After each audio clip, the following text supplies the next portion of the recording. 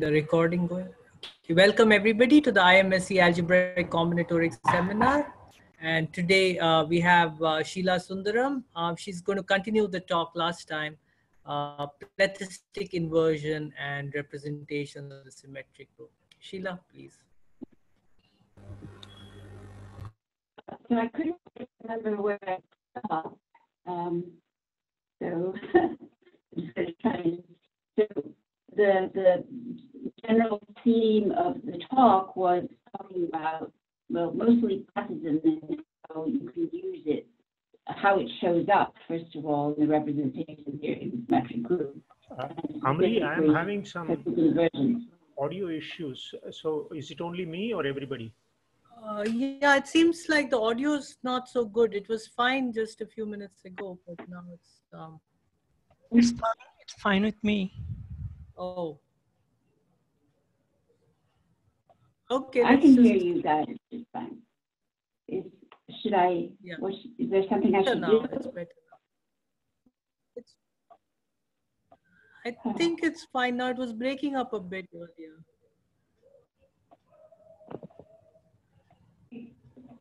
But you Are can you you see my it through the slides? Yeah. I'm doing only the audio through the phone. Okay. Okay, go ahead.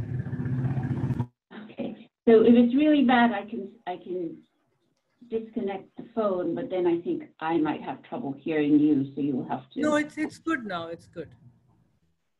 Okay, yeah. All right. Um, yeah, so, uh, I stopped and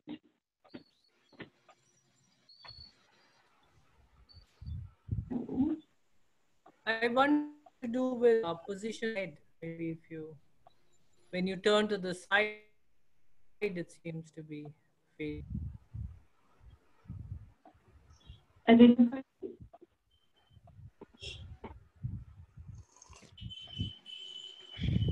Um,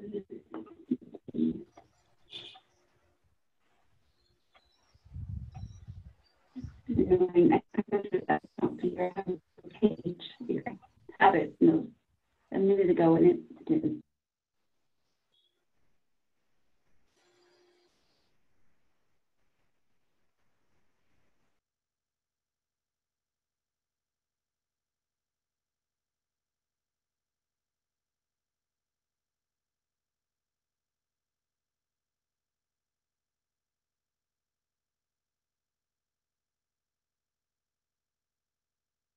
Stanley, and like I said, there's a lot of confusion about attribution here.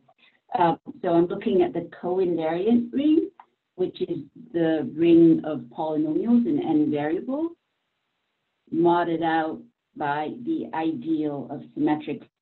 So you're you're taking the quotient by the invariant, the non-constant invariant. And when you do that, since the ring is graded by degree, it's a polynomial ring, then there's this theorem that tells you that if you add up the degree, the pieces at degree congruent to k mod n for a fixed k, it's the same thing as uh, the case power of the primitive of unity induced from the cyclic subgroup up to Sn.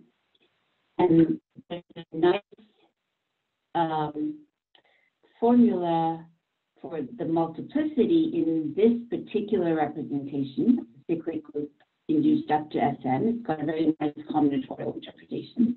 And someone had asked if that that's actually true at the lower level of the individual degree pieces, and it, in fact it is. Um, so it's a theorem of, I guess, Lusztig and Stanley. So maybe somebody else knows a better reference, uh, but I had a terrible time tracking down this reference. So the multiplicity in the ice-graded piece of the coinvariant ring is just the number of standard tableau whose major index is exactly equal to i. So that's, this is actually the, the first result from which the second one follows. Okay? So that is indeed true. Um, so I found this sort of in a very roundabout way in a 1979 bulletin of the AMS paper by Stanley. I don't know where the actual Lusztig uh, result is or if he ever published it. So if anybody knows, I, please tell me. Okay, I did want to clear that up. Uh, let's see. And then, so just to, um, oh, so we did this. I, I went through this. Um, okay, maybe I'll come back to this, but all right, so plethystic inverses. I think I sort of stopped here, so let me just spend a few minutes um, recapitulating Um, Sheila, here. I think the audio is really, um, the audio is pardon? breaking up. Maybe we should try. Yeah, maybe we Oh. should try. Uh, yeah. Uh, Okay. Try do Uh, computer. okay, yeah, let me disconnect it. Um, so I just up, right?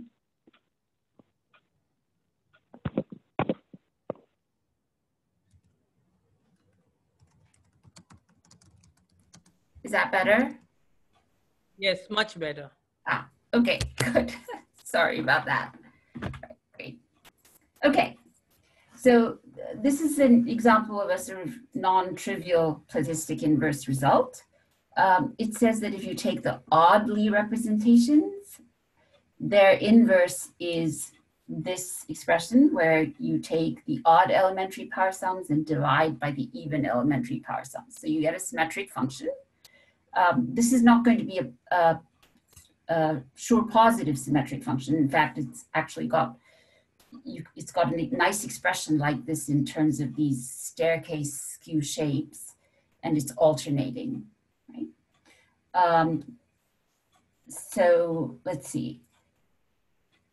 So these the expression on the left shows up in other places, like in that I don't know very much about, like Schur p functions and stuff like that. Um, so from that result, you can actually conclude this. You can, you can find the inverse of the alternating sum of the odd Lie representations. And it looks very similar. You can see that all that happened, whoops, sorry. All that happened was that the signs alternate. This, this expression is, has been studied before. It's well known and it's an old result of Carlitz that it is actually Schur positive. So this is actually um, the characteristic of a true representation. I don't know where it comes up in a, in a purely representation theoretic context. It probably does somewhere, but I don't know. Okay, and then I think I had said from, from all this, you can actually get another decomposition of the regular representation. So one of the themes of the talk last week was all these decompositions of the regular representation that are floating around. So this one says that if you take the plethysm with the odd Lie representations of the sum of all the hooks, you actually get back the regular representation. That seems very mysterious to me. There has to be a conceptual explanation, but I don't know what it is. All right. So uh, to go from sums to alternating sums, it turns out that there's actually a, a, a, what I call a meta theorem that allows you to do that. Like that tells you how to go from one plethystic inverse result to another where, where all you did was change the signs. Um, and it's going to work for k greater than or equal to 2. So, uh, you know, I'm looking at a sum of symmetric functions of degrees congruent to 1 mod k in both cases. And then I just alternate the signs in the, in the sort of natural way.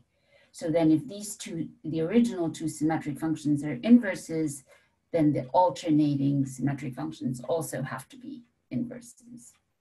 So that's a very nice thing because if you, I mean, if you've tried to compute plethysms, it can get, you know, a formal power series, it can get sort of messy. So you don't want to have to, it gets messy, but on the other hand, if you do a lot of them, you find that at some level you're doing the same thing each time. So this theorem is sort of extracting that in, in some generality.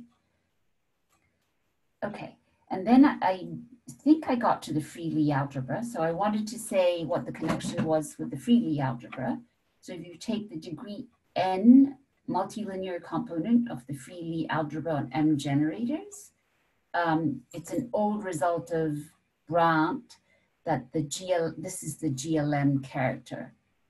And so this is the same thing as, um, this is the same thing as the, um, the Frobenius characteristic of the induced representation from the cyclic subgroup when you're inducing just a primitive nth root. So we had this Thrall's theorem, and by the way, one of the things I want to do today is prove Thrall's theorem. Um, so we had this decomposition of the regular representation. So I just wanted to put that in the whole Poincaré-Birkhoff-Witt context. So what it's saying is, so the Poincaré-Birkhoff-Witt theorem says that the universal enveloping algebra is the symmetric algebra. I, this is not, I should fix this. Oops, sorry. Um, is the, yeah, this, this should be the symmetric algebra. Can you read that? Yeah. So what if you put those two facts together, then Thrall's theorem is really telling you that the full tensor algebra is the enveloping algebra of the free Lie algebra. Right? So it's giving, so on the right-hand side here, these are the symmetrized, this, you should think of this, so this is just another way of thinking about what plethism means. You should think of this as symmetrizing the Lie modules. Right? That, that's sort of it helps me to put these things in context. Okay. Um, all right, so here's another uh, plethystic, uh, another old plethystic inverse result. And I'm actually not going to say anything about the context right now. Um, so where, where I came into all this was in looking at the partition lattice, so the lattice of partitions of a set uh, set partitions. Um, and th there was a lot of work being done at the time in the late 80s, early 90s on restricted partitions. So you wanted block sizes, for example, congruent to one mod k. So if k was two, you would be looking at even block sizes or odd block sizes. And all of these posets were known to be Cohen-Macaulay. There was a lot of work proving that posets were Cohen-Macaulay, shellability, all of that stuff was going on around this time. So there was always the question when the poset carried an SN action, what was the action on the homology? So uh, this is a result of Calderbank, Hanlon, and Robinson. And they computed the top, the unique non-vanishing homology, the top homology on the poset of partitions with block sizes congruent to, they did this in general, J mod K. But when you look at one mod K and you take the alternating sum of those modules, those top homology modules, that the inverse, the plethystic inverse of that is just the sum of all the trivial modules for of degree one mod K. So that's a pretty amazing result. Um, in the there, there's actually a conceptual way to think of this that, you know, and I should really be backing up to the, to Cadogan's formula for this. So um, if you replace, if you replace the betas here with the homology of just the full partition lattice, you'd have to tensor, um, oops,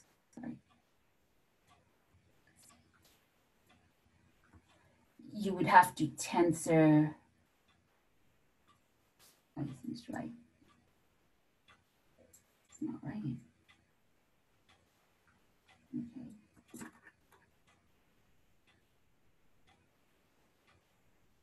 So just, just forget about the one mod k. If you did this, then this would just be the sum of the HNs, and this would be the alternating sum of the omega Lie n's. Right? This is Cadogan's theorem, the original theorem. So you can, if you write down that plethysm, you can think of it as an alternating sum. And what it is is actually an alternating sum of the what are called Whitney homology modules. So to every um, poset, you can associate a whole sequence of modules called Whitney homology modules. Uh, and you can do it either straight from looking at the poset both ways. So the original Whitney homology, or you can turn the poset over on its head and look at the dual Whitney homology.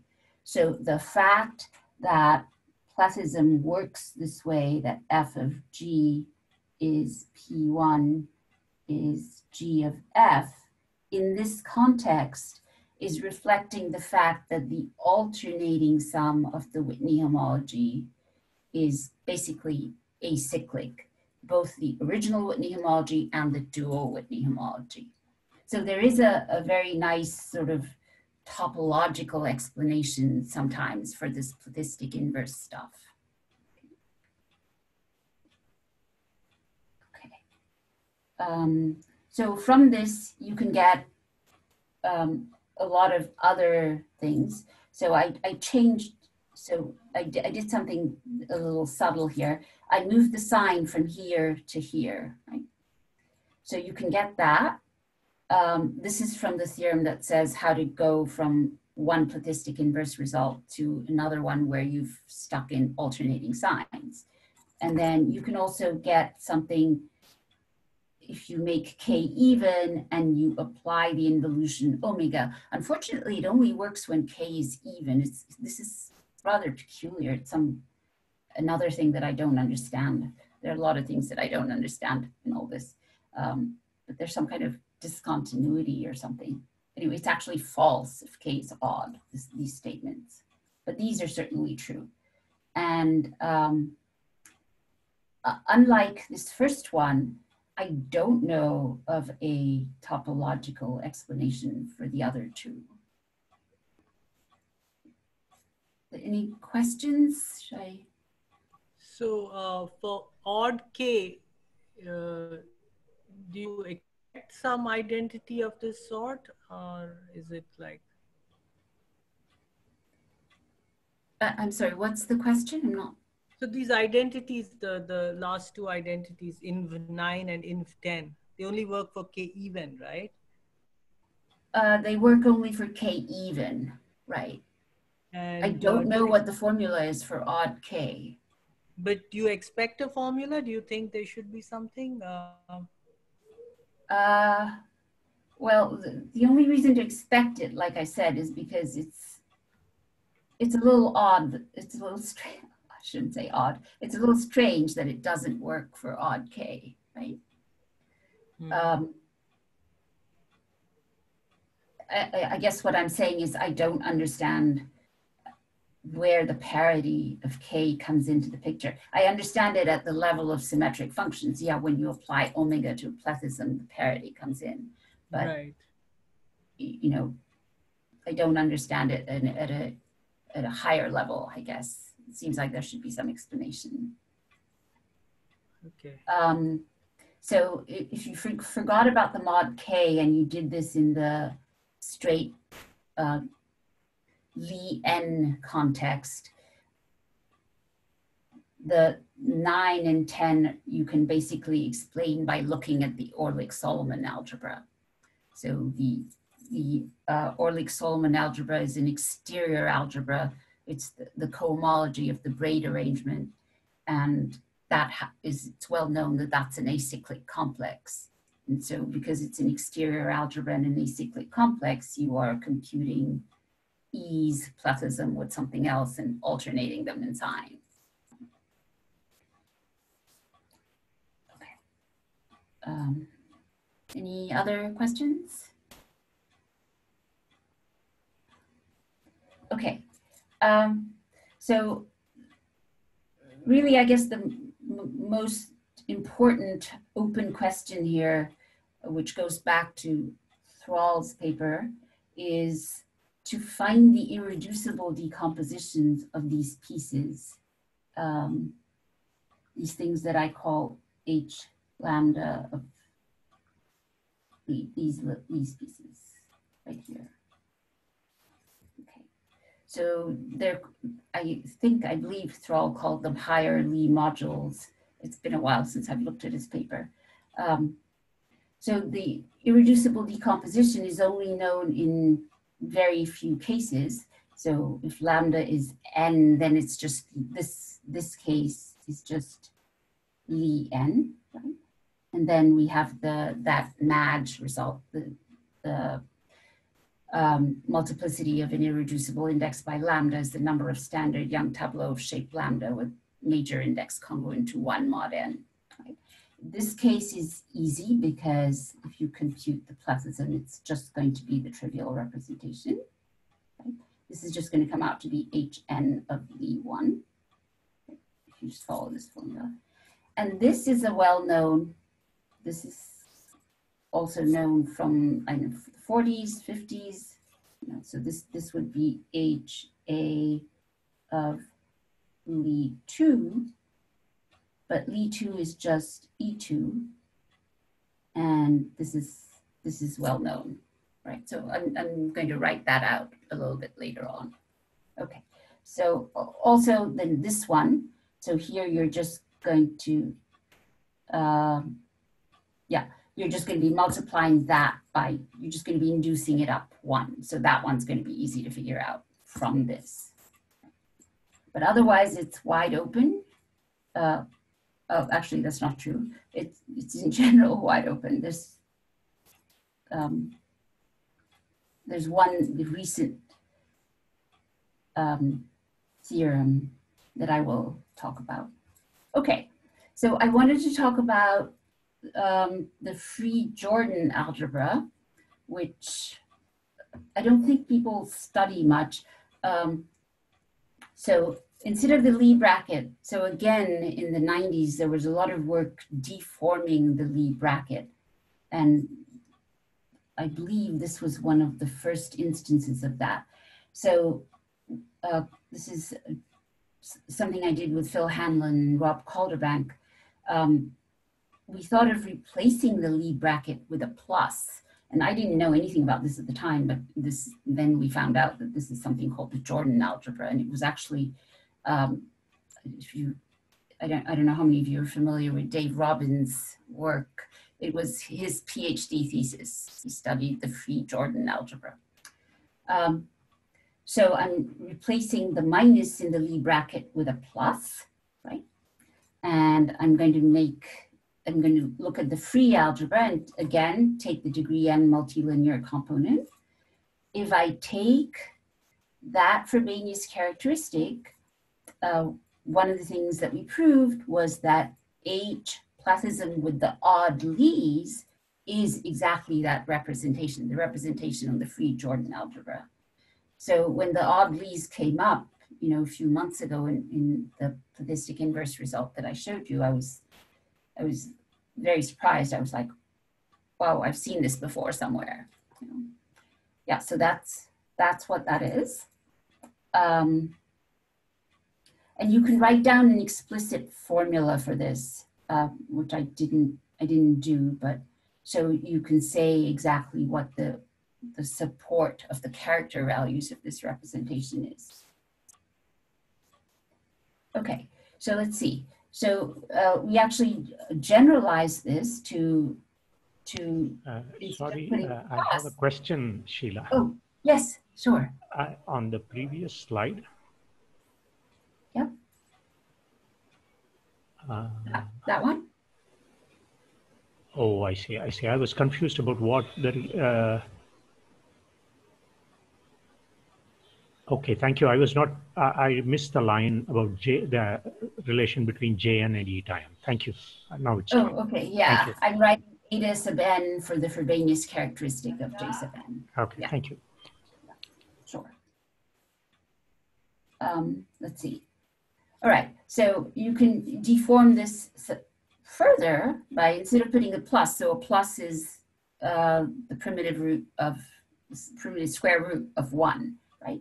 So we can take any primitive pth root of unity. So actually we started out just putting an alpha, an arbitrary alpha. So then it turns out that if alpha is not a root of unity, this thing just gives you the regular representation. So it's not very interesting. So then we went to a primitive pth root of unity. And then you get something really interesting. Um, the theorem is, so I'm, I'm eta sub n of p is the representation of Sn on this particular component of the free algebra with the bracket defined like this. So alpha sub p is a primitive pth root of unity? Uh, p does not necessarily have to be prime, even though I'm using the letter p. So it says that the Frobenius characteristic of this representation is a sum of higher Lie modules, and the higher Lie modules correspond to partitions lambda where no part is divisible by p. So just throw away all the parts that are multiples of p.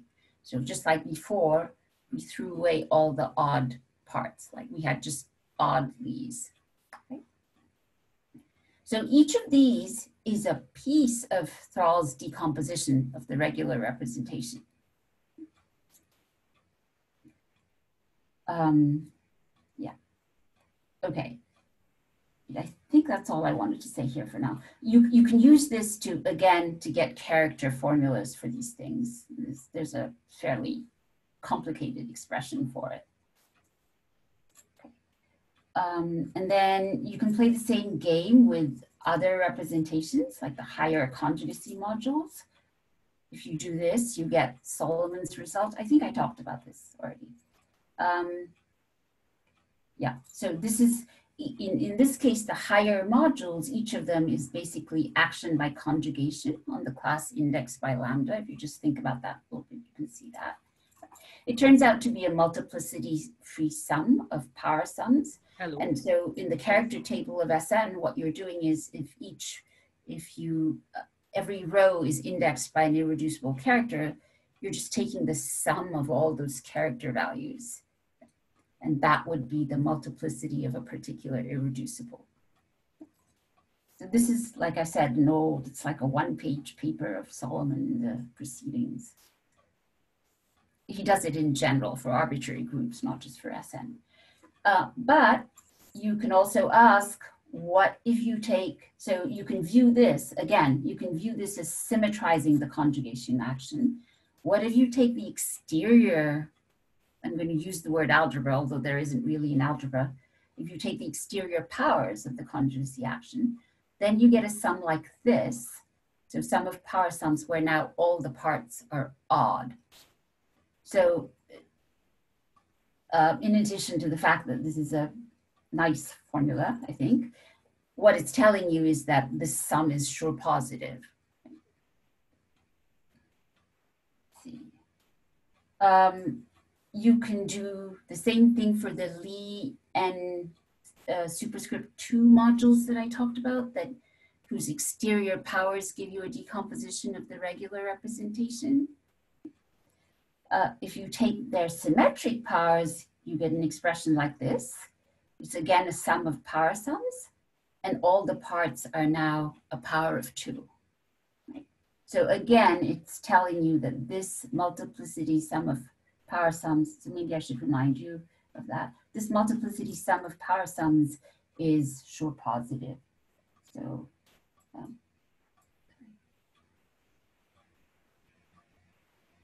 I before I had this.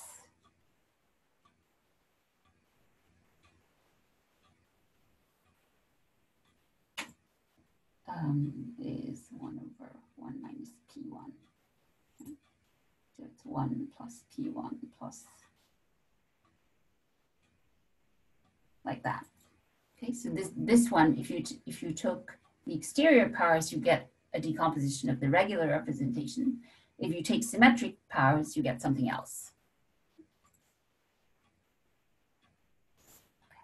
All right, so um, here, here's my list of open problems.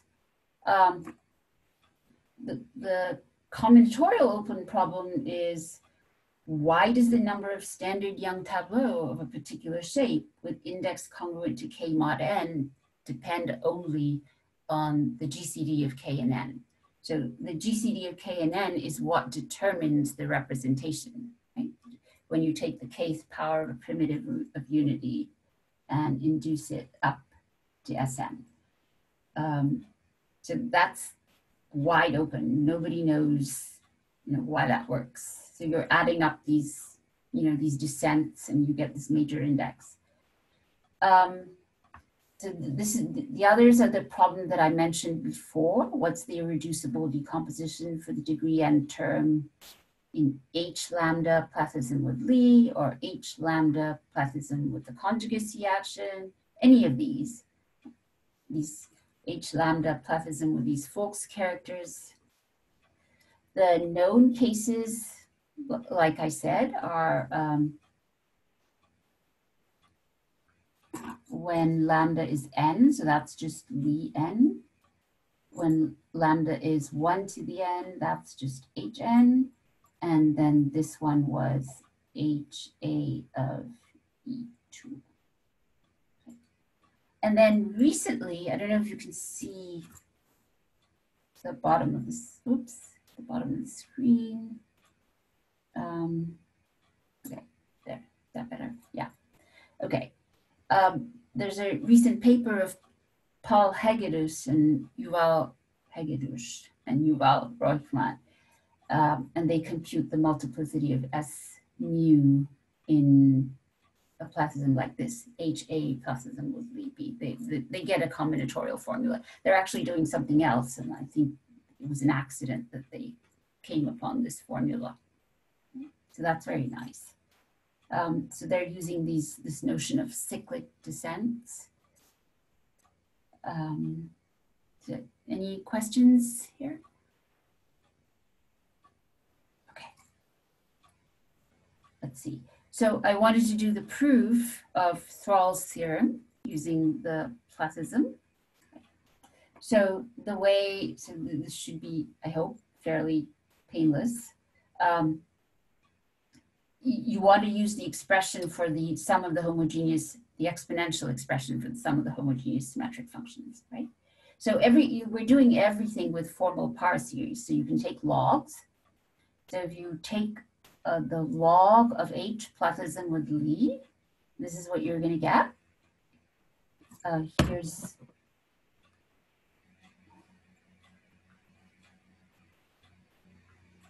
okay.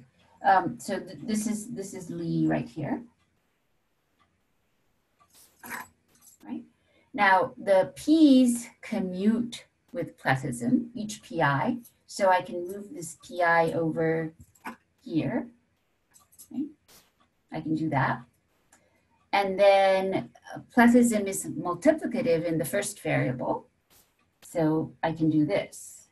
All right, so I've done, two, I've actually done two things here. So going from here to here, um, this is actually P D plethysm Pi to the power n over D. All right, so then um, what happens here is you want to make n over d an integer. So you make a substitution, make a substitution that makes n over d an integer. So I put j equals n over d, and that changes my sums. Okay. And then I'm going to make another substitution. So pd of pi, that becomes pdi to the power j, right there. Uh, and I make another substitution. I'm going to put m equals di. That's what I'm doing here. m is di. So it's really two substitutions. Okay, and as soon as you do that, things start to fall into place because now you can isolate the, the sum with the Möbius function part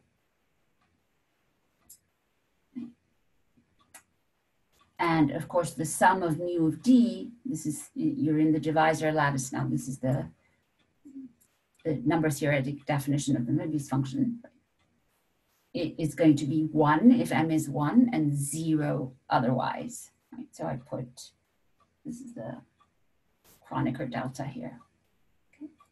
So you get the sum of p1 to the power j's, which is if you, remember your Maclaurin series for log, it's log of 1 minus pi, p1 inverse.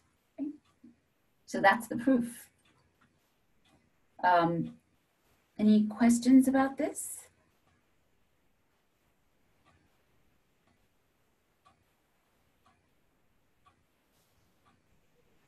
Okay. Quite All right.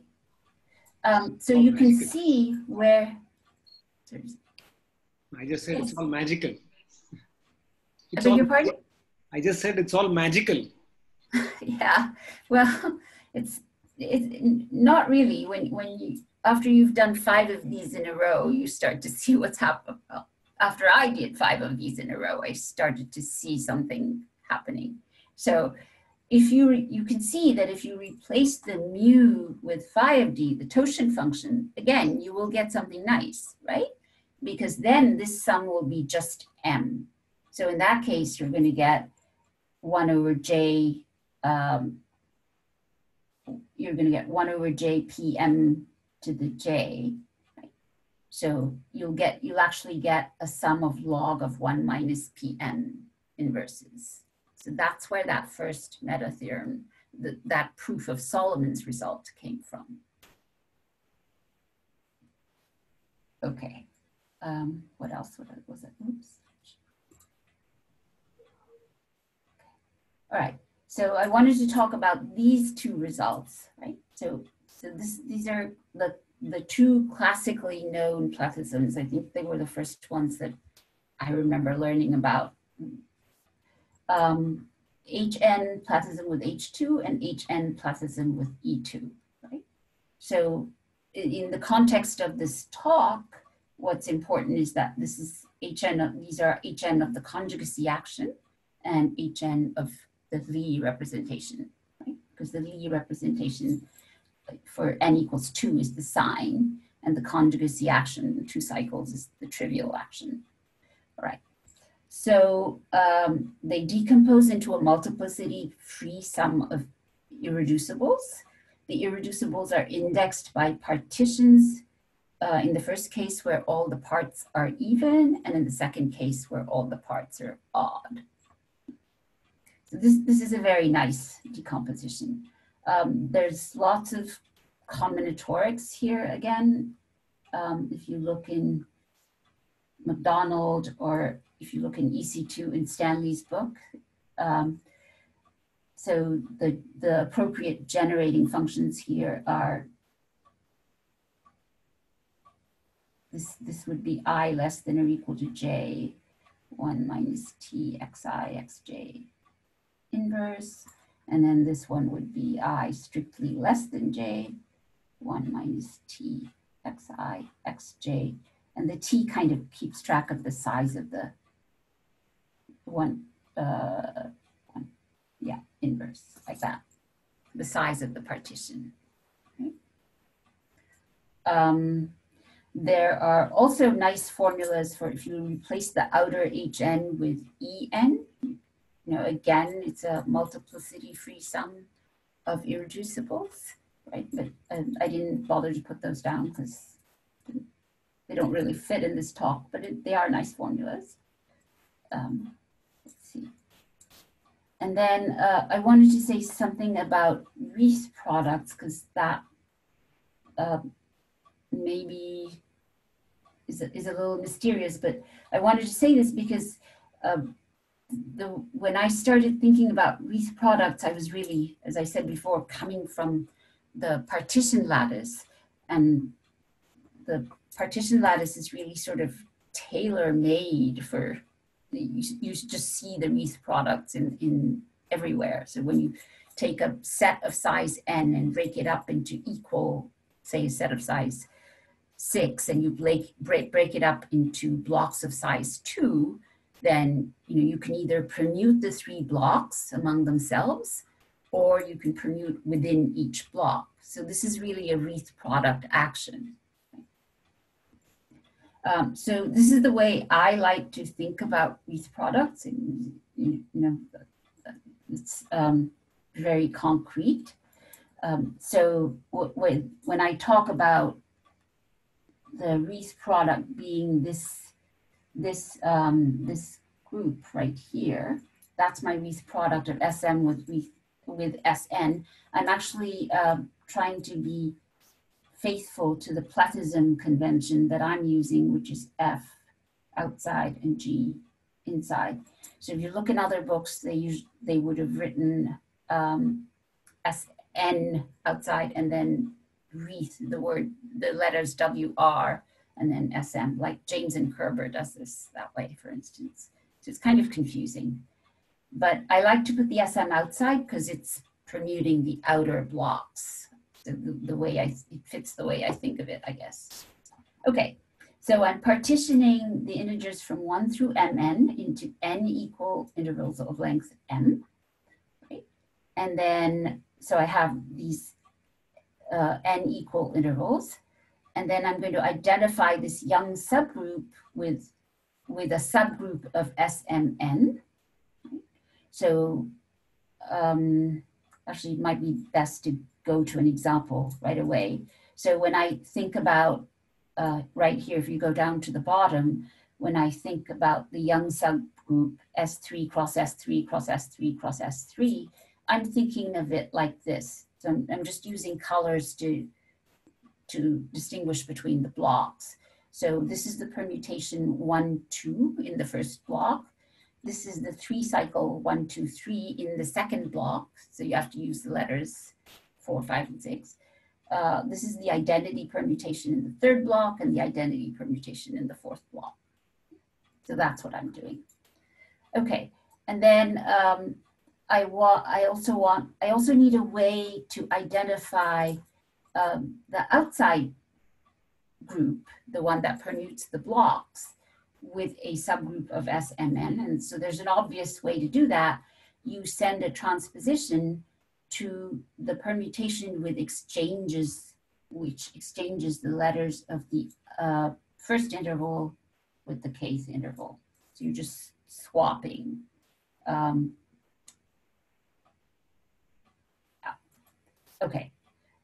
I, I don't know if, if that's clear. So then elements, if you actually wrote down algebraically what these elements are, um, you can start with four elements in S3 but then you want to place them in, in the four blocks and each of the four blocks has different letters in it. So that's what's going on. And this is the formal way of saying that.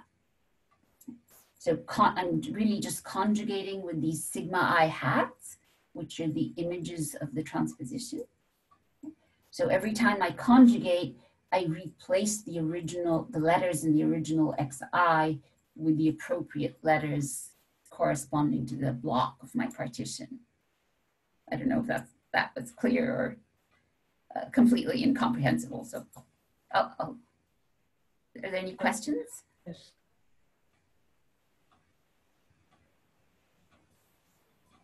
So someone had asked clear. something about these products last time, so I just wanted to say a few words about it.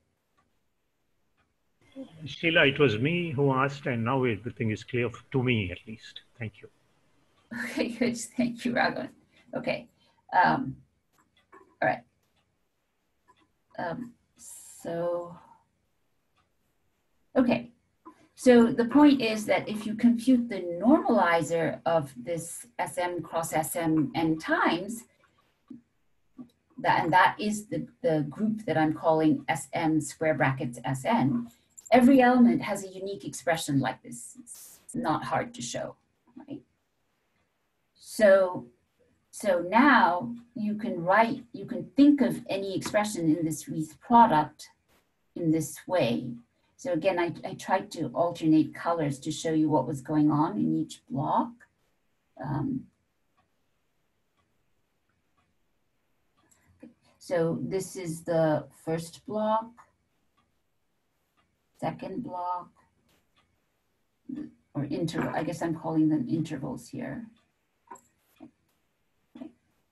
But originally I start with four permutations in S3. So in the letters one, two, and three, and then I conjugate each one so that the letters get replaced. That's basically what a wreath product is. and that's very nice because it allows you to describe very explicitly what, what wreath product modules are. So if I take uh, W to be an SN module and V to be an SM module, I can construct a module for the wreath product in this way, V outside, V bracket, square brackets W. Um, as a vector space, it's just the M-fold tensor product of W. So these are the M blocks that you're permuting, tensored with V. And then um, the action of SM wreath product SN is you can actually write down explicitly what you're doing to one of these tensor products. Basically, you're acting diagonally with the xi's and then you're permuting positions with the sigma. That's sort of what's going on, right? very broadly speaking. So you can check that this is actually a group action. And then the you can check, it's easy to check dimensions. Eh, so every, everything basically works. So, so th this is this is what what I like to work with when I'm doing plethysms. I like to think about this. All right, so the important thing is that the important fact is that the Frobenius characteristic of this induced module, if you induce this up to SMN, is actually the plethysm of the two original Frobenius characteristics. So that's, that's where the representation theory comes in, the representation theory in the plethysm.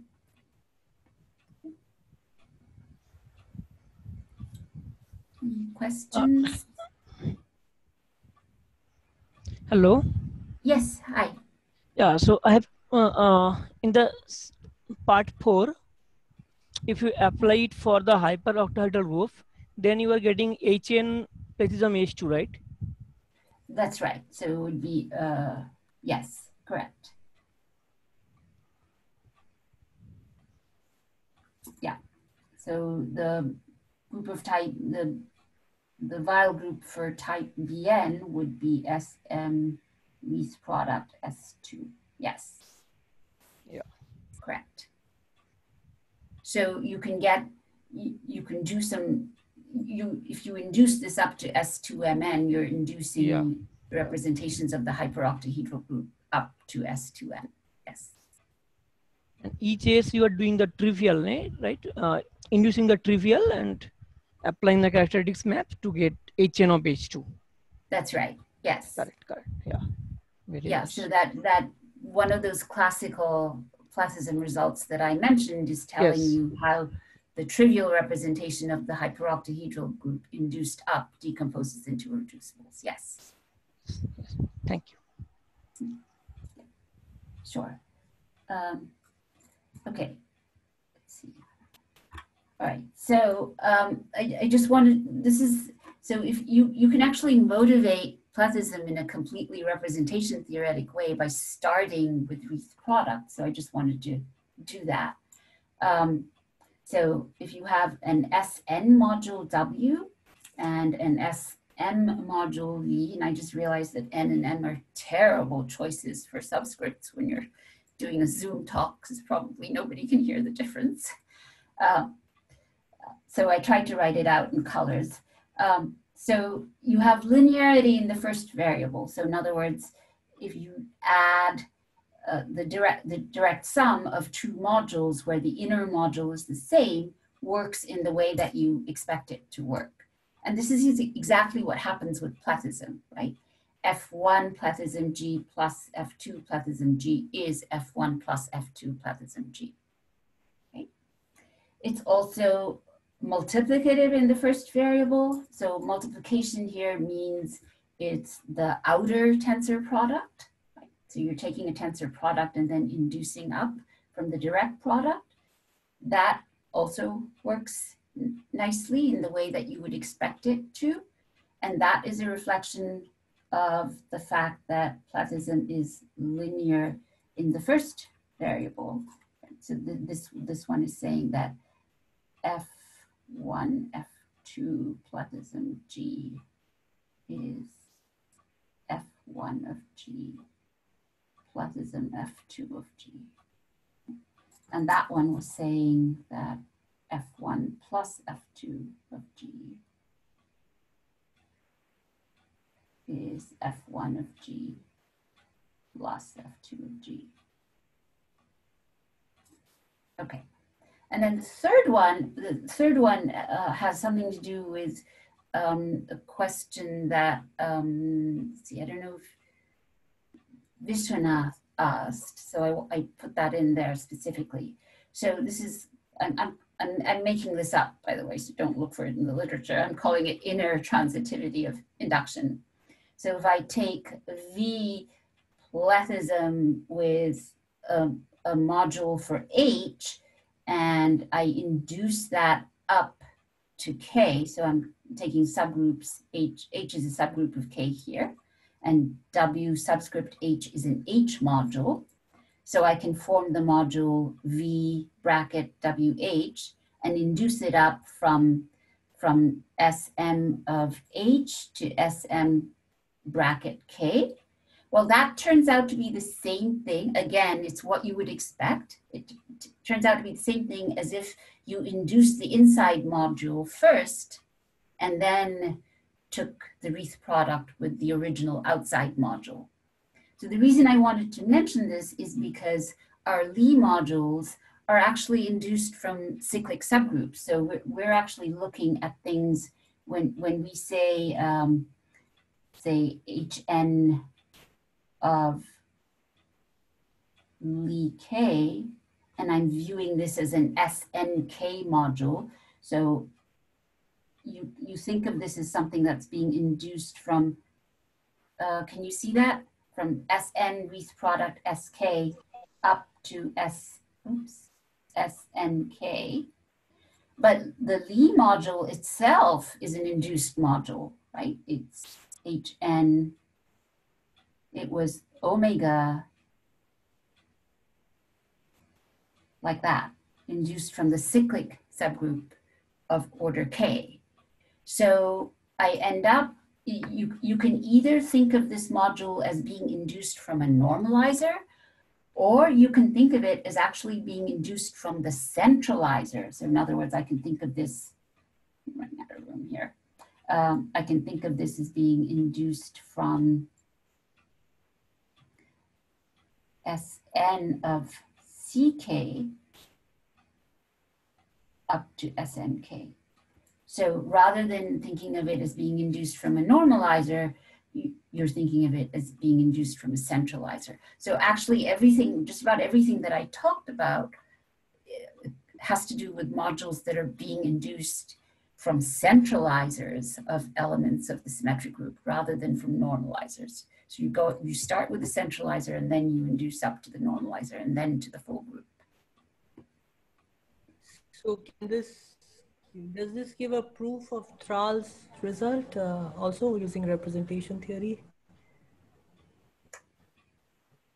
Well, no, because um, uh, you'd have to do the, I mean, there's just, uh, let me just think about this. I'm not sure. I, I think you'd have to do a calculation that's equivalent to what we did before, but I'm not. I'm not sure. Okay, so it doesn't. Yeah, I, I, I don't think so. No. Okay.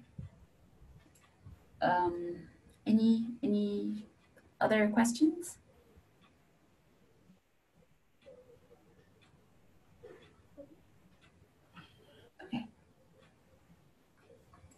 So I think that was actually all I had. Um, had some references. Um, if you've never worked with wreath products before and you know you like combinatorial questions, I added a reference at the end. Um, some of the stuff of, on wreath products I I lifted shamelessly from an old paper of mine where I worked all this out for, for specifically for combinatorics, for the combinatorics crowd.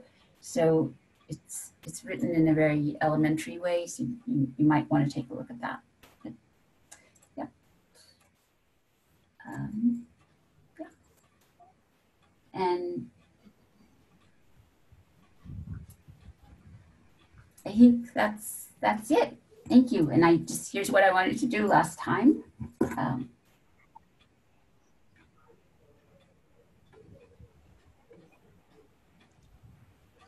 there you go. I finally got to do it. Thank you very much.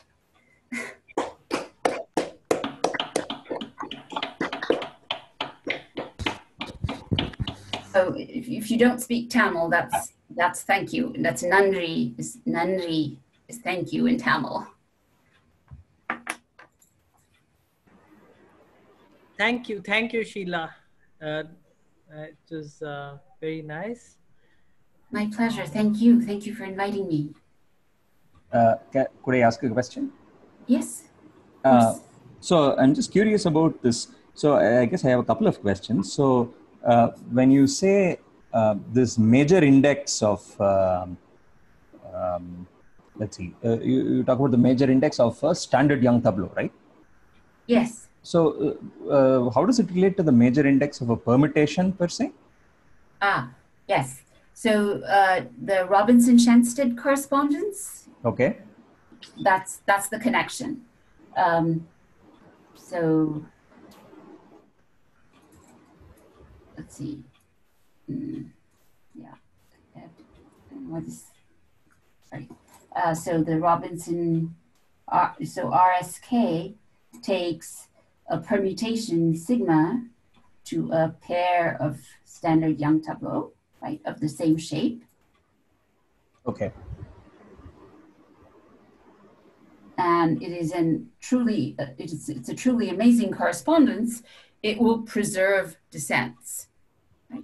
so a descent in the permutation will translate into a descent in oops, uh, in the recording tableau in q right so Okay. you you do have a bijection like that Right. Okay. so So- major index of the permutation, you can you can track major index of the permutation by major index of the tableau.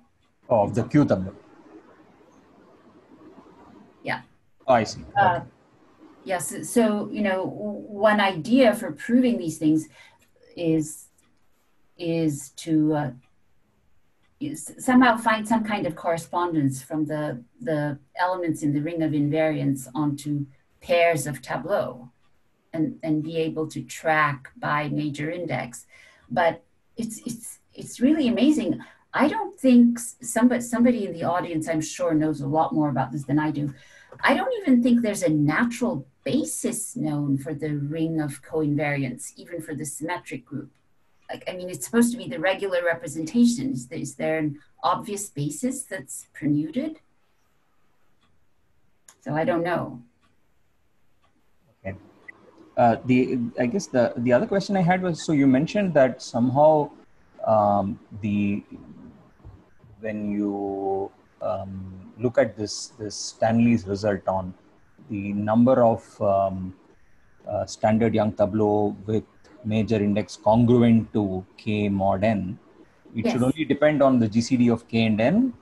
Yes. Uh, because so I didn't quite catch the reason uh, you, you said because when you induce up from Cn Yes, because correct. It's the decomposition of. So if I take a um, let's see, if I take a primitive nth root of unity, and I take it to the. Whoops! Sorry. Uh, what did I do?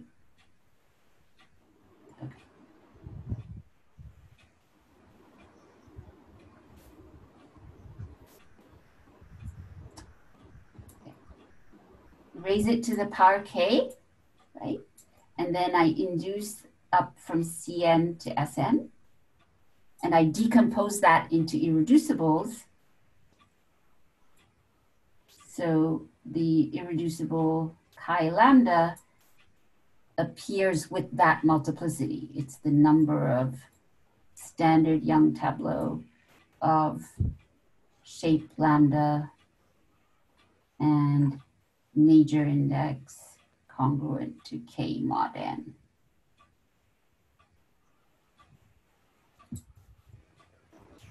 Okay. Uh, but the GCD comes into play because you're saying omega k, and if you, if you pick k dash, uh, but then they would be only there's an outer automorphism, right, of Cn which would relate. Uh, Right. So so when you uh, that's right. The, the representation depends only on the grade the GCD. Yeah. Ah, I see, I see. So one, once when you induce up, there is uh, okay, okay, I understand. Okay, Yes. great. Thanks, thanks. When, when, uh, you do have to induce up, right? It's not uh, obviously not true. I, I Right. mean, without inducing there the distinct n irreducibles of Cn, but Right, right. once you induce up, yeah. Correct. Okay, fine. Okay, thanks. So, sure. So, so you you say this is still open, is it? Meaning, we A- still don't know why. Combinatorial proof of Combinatorially. fact. So this is a, you know, yeah, it's still open. So Foulkes has a very explicit um, formula for a very explicit formula for this expression in terms of power sums, like with, with the Ramanujan sums. Right. Right. So if you go from there to here, nobody knows how to do it. And nobody knows even how to show that it's not, doesn't depend on K, that it only depends on the GCD of K and N. So if you look in, in the references, I wrote out specific exercises in EC2 in Stanley's book, and it's all, it's all written there. This is a very old, well-known problem. Uh, in fact, I, I probably thought about it as a graduate student and immediately abandoned it. it looks hard. Okay, thanks. sure. Uh, Sheila, I have a question on uh, the question you asked. Could you repeat that question uh, about uh, something about the co-invariant uh, ring, some basis for it? What Yes. was- could you repeat the question, please? Oh, repeat the question. Yes. Uh, so I said, I don't even think it's a, a natural basis for the co-invariant ring is is known. Um, so Uh, well, I have So I'm- following I'm comment to taking- make on that. uh, let's see, E1 through EN. I'm, I'm just going to do that, right? So it's a direct sum of these pieces that I call, I called them RI. Yeah. Um, so all, if you just, even if you just ignore the grading, this is, this is supposed to be the regular representation, Mhm. But I don't think a natural rep, uh, basis is known, something that's obviously permuted and that's nice, that, that you can work with and get combinatorial results out of. Okay. Uh, maybe Do you- uh, the following is obvious. Uh, uh, uh, if you can think of it, I think, as the cohomology of the uh, full flag variety. Yes. And therefore, there are the Schubert classes, but that's not what you want, I guess. Yeah, you can, yeah, I- don't think that's, That's not um, what you meant. so actually, actually, I will, what properties do you want? That's the question. well, are, are the, are the Schubert classes obviously permuted? No, no, no, no, no. I'm not saying no, no, no, no. Uh, Okay. No, I Yeah, don't know that's- the. I, I, I, I, I, no, I was just saying that they form a basis, but uh, uh, so Yeah. you want. Uh, mm, So these are, these are, um, um, so Schubert classes, so now we're going into algebraic geometry, right? But this is, I'm saying, this is a very simple polynomial ring with a, you know, you're, you're modding out by something. Is, is there something that where you can say, look, here the n factorial elements and they're obviously being permuted? Like, It's the regular representation. I, I, I, since it's the regular representation uh, and it is um, induced from a group uh, action on a set, you want to identify that set, I guess. That's, is that is that? Yeah, I, I'm sorry. Um, is it? uh, Could you um, yeah. uh, turn up your uh, mic? Maybe I'm having yeah, trouble uh, hearing. you. um, the regular representation, being the regular representation, it is induced from the action on a set.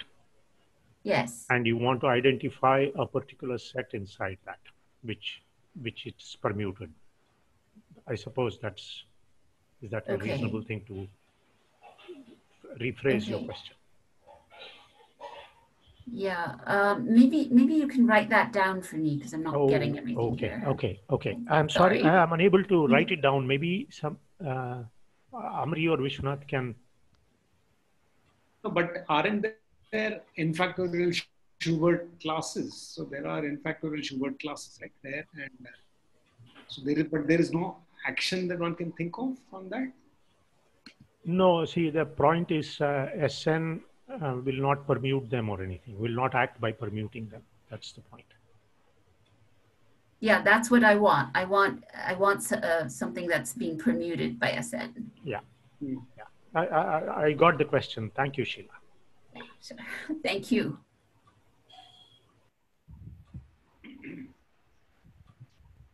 Yes. So maybe, uh, no, I was just wondering again about that, uh, what Raghavan was mentioning. So maybe there's some partial order on these basis elements and uh, somehow this this could be related to, yeah, some partial order.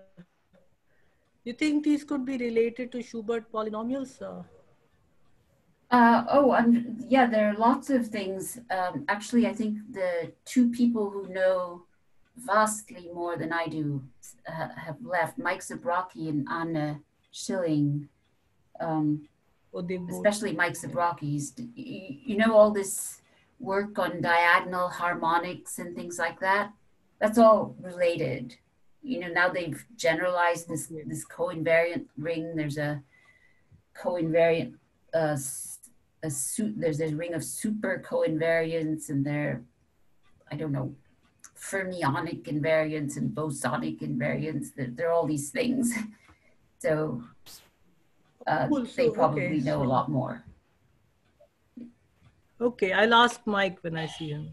Yeah. Um, Amri, just to uh, comment on your question, indeed, uh, that is correct. I mean, Schubert polynomials are, rep- are supposed to represent Schubert classes.